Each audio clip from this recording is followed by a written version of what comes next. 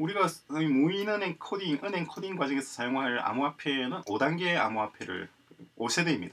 5세대 암호화폐를 이용하게 될 텐데 그러기 위해서는 일단 1, 2, 3, 4단계가 어떻게 에, 발전되어 왔는지를 간단하게 한번 살펴보도록 하겠습니다. 제일 먼저 1, 1단계 그러니까 1세대라고 표현할 수 있죠. 단계가 세대입니다. 1세대 비트코인은 사토시 나카모토 사토시인지 사토시 나카모토인지의 비트코인입니다. 이 비트코인의 문제는 어, 거래 기록 가능한 거래 수가 초당 수회 5회 안팎이 될 수밖에 없습니다. 그리고 어, 그 구조적으로 그래요. 구조적으로 그렇게 설계되어 있고 바꿀 수가 없습니다. 그러니까 그 뭐 비자 카드나 이런 것들 있잖아요. 우리가 쓰는 흔히 쓰는 마스터 카드에 어, 초당 30만 회 정도를 지원하니까 그 거의 뭐 30만 10만 분의 1 수준에 불과하죠. 그래서 실제 어떤 비트코인을 이용한 어떤 거래 상거래 폭넓은 상거래는 사실상 원천적으로 불가능합니다. 그래서 방법, 편법을 이제 만들어내는 것이 라이트닝이나 이런 것들은 그런 편법적인 방법이 나오게 되는데 어쨌거나 편법을 필요로 한다는 것 자체가 문제죠. 그리고 두 번째는 어떤 자원 약탈적인 채굴 메커니즘입니다. 그래서 어, 이 블록체인, 사토시 블록체인을 우리가 일반적으로 블록체인이라고 얘기하는데 사실 블록체인은 종류가 여러 가지가 있습니다. 근데 이제 별로 사토시의 것을 얘기한다 그러면은 이 자원 약탈적 채굴 메커니즘이 없을 수가 없어요. 왜냐하니까 이 블록체인과 비트코인은 뗄래야 뗄 수 없는 관계입니다.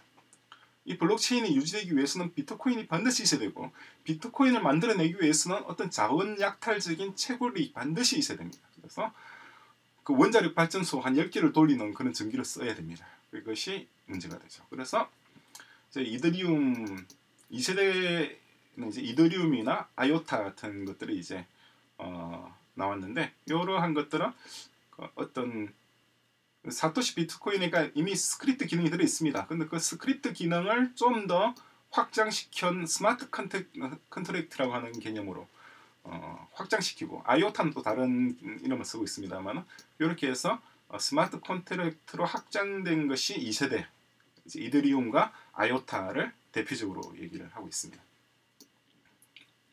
이것이 이제 1단계, 2단계입니다. 1단계, 2단계는 어쨌거나 블록체인 기반입니다. 그래서 블록체인이 가지고 있는 어떤 본질적인 한계인 거래 수, 처리 가능한 거래 빈도의 한계와 그리고 자원 약탈적인 채굴 메커니즘 그리고 premining premining은 미리 개발자들이 자기 몫을 챙겨 놓는 거죠. 그래서 어뭐 뭐 몇천억씩 돈을 벌기도 하고 심지어 수, 수조 원이나 수십조 원을 돈을 벌 수도 있죠. 근데 그 돈이 다 어디서 나오느냐는 거죠. 그 돈이 하늘에서 떨어지는 게 아니라 우매한 대중들로부터 어떤 환상을 판매해서 얻는 어떤 종교 장사라고 말씀드리는 겁니다. 존재하지 않는 것을 존재하는 것처럼 어, 뭐 천국의 땅을 약속하는 거죠. 그렇게 해서 돈을 갈취하는 방식이죠. 그것이 1세대와 2세대입니다. 그리고 3단계는 이러한 이제 1세대, 1, 2세대의 문제를 해결한 겁니다. 그것이 이제 스월드라고 하는 어, 회사입니다. 미국 텍사스에 있는 회사죠.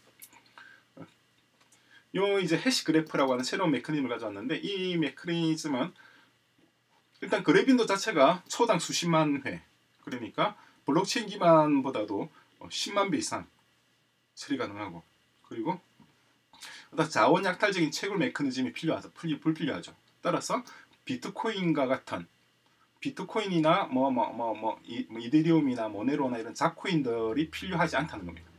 이러한 1, 2단계는 어떤 코인의 존재가 불가피했어요. 왜냐니까 블록체인이라고 하는 알고리즘 자체가 체인이 없이는 동작할 수 없는 알고리즘입니다.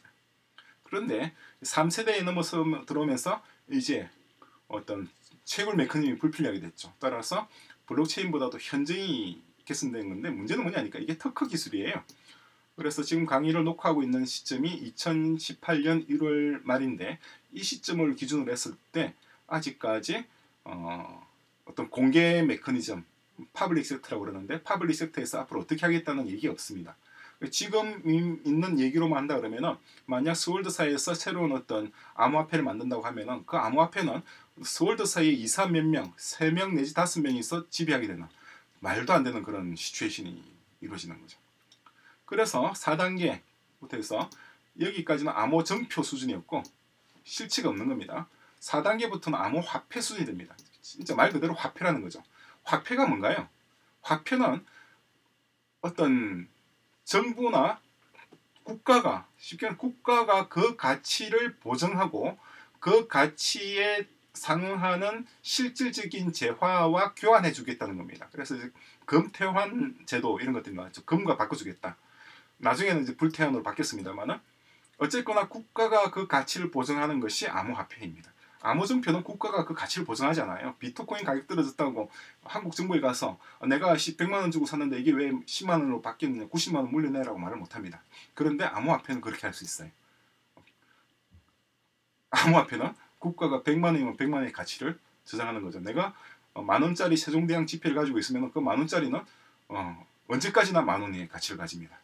그게 갑자기 천 원으로 팍 떨어진다거나 그런 어, 초인플레이션 상황이면 그건 국가의 통제 영역권 바뀌죠. 어쨌거나 또 다른 주제이고 어쨌거나 화표와 정표는 다르다. 4단계부터는 화폐 수준입니다. 그래서 국가가 어, 지불을 보장하고 그죠? 개별 주권 국가가 자체 법규에 따라서 관리하는 어떤 시스템입니다. 그리고 이제 해시 그래프가 특허 기술이니까 이러한 특허 기술에 대해서 어, open source로서 대안을 제시되고 있는 것이 오픈 해시 기술입니다. 이게 4단계이고 2017년 초부터 어, 일부 그러니까 아주 작은 영역에서 시작이 되었습니다.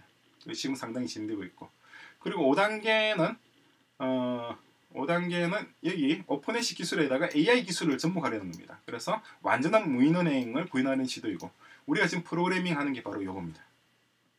여기 시도하는 것이 이건데 OOP 기술이 아니라 FRP를 이용해서 진행할 거고 Cycle JS를 이용하게 될 겁니다. 그리고 이제 AI 부분은 구글의 TensorFlow를 이용해서 AI 모듈이 어, 대출 심사라든가 채권 이자율이라든가 이런 것들을 다 결정하게 되는 거예요. 예금 이자율도 물론 결정합니다. 그것이 이제 5단계 우리가 지금 진행하는 것이 5단계를 실제로 한번 시, 스템으로 구현을 해 나가는 거죠. 어, 지금 녹화하고 있는 시점이 2017년 1월 중순인데 어, 예정에 의하면 2000 다음 달이죠. 2월 말까지 이 시스템의 전반적인 골격을 다 구성을 할 겁니다. 물론 이제 아주 세부적인 것들까지 다 구현하려면 시간이 더 필요하겠지만 어, 다음 달 말 앞으로 한 달 열흘 정도면 전체적인 골격 프로그래밍 코딩 사이트 원래 전자지갑이 구동하는 수준까지는 진행을 해 나갈 겁니다.